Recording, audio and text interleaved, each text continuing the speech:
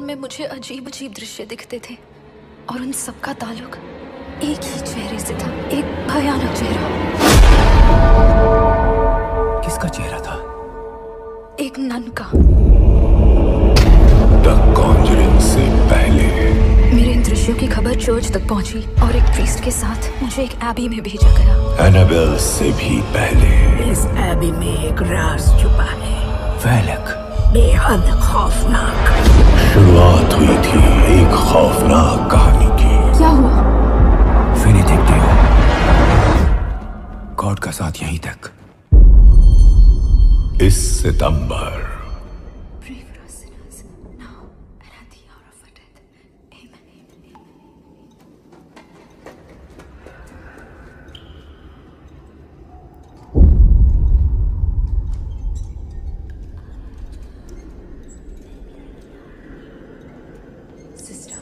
वहाँ से नहीं यहाँ से।